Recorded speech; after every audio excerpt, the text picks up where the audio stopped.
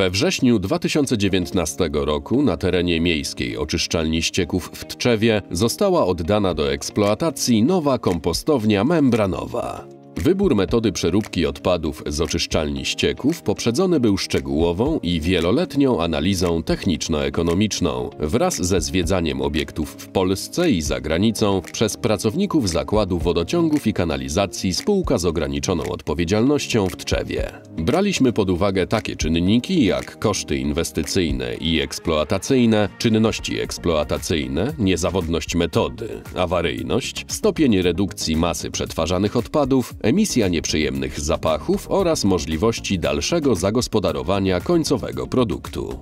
Ostatecznie wybrano kompostownię membranową.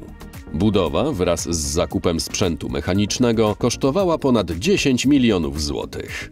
Zadanie inwestycyjne było współfinansowane przez Unię Europejską, a wartość dofinansowania wyniosła 85% kosztów kwalifikowanych. Zastosowana nowatorska technologia kompostowania osadów z użyciem opatentowanych membran praktycznie eliminuje powstawanie nieprzyjemnych zapachów.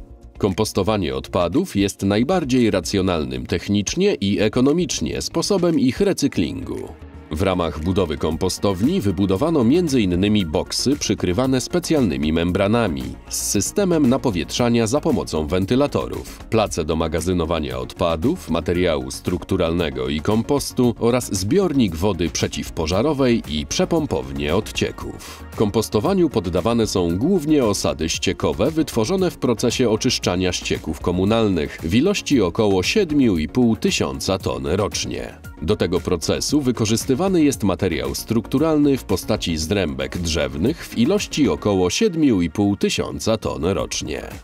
Kompostowanie w otwartych pryzmach trwa od 3 do 6 miesięcy, w boksach zaś zaledwie 6 tygodni. Znacznie ograniczona jest także emisja gazów odorczynnych, ponieważ boksy przykryte są specjalnymi membranami. Finalnym produktem jest kompost w postaci ciemnobrązowego hummusu o zapachu leśnej próchnicy. Wytwarzamy go około 5000 ton rocznie. W latach 2020-2023 wyprodukowano około 20 tysięcy ton kompostu. Po wyprodukowaniu pierwszej partii kompostu w październiku 2019 roku rozpoczęto procedurę przekwalifikowania go w nawóz organiczny. Wymyślono dla niego nazwę kompost pomorski. Wtedy też uzyskaliśmy pozwolenie na stosowanie go jako nawozu organicznego w uprawach polowych roślin rolniczych oraz do rekultywacji gruntów zdegradowanych. Natomiast w marcu 2023 roku uzyskaliśmy pozwolenie na stosowanie kompostu pomorskiego w uprawach roślin sadowniczych i ozdobnych oraz podtrawniki. Badania fizykochemiczne i biologiczne kompostu wykazały, że zawiera on substancje organiczne i mineralne, jakie są wymagane dla nawozów organicznych oraz nie zawiera mikroorganizmów chorobotwórczych, przez co jest bezpieczny pod względem sanitarnym. Zawartość metali ciężkich jest znacznie poniżej wartości normatywnych. Z kolei badania rolnicze wykazały, że kompost przyczynia się do istotnego wzrostu plonów i zwiększenia zasobności gleby w przyswajalny azot i fosfor, substancję organiczną i próchnicę. Kompost pomorski uzyskał pozytywne opinie instytutów naukowo-badawczych o jego wpływie na zdrowie zwierząt i ludzi oraz na środowisko. Głównymi odbiorcami nawozu organicznego są okoliczni rolnicy. Aktualnie popyt na nawóz organiczny znacznie przewyższa jego produkcję.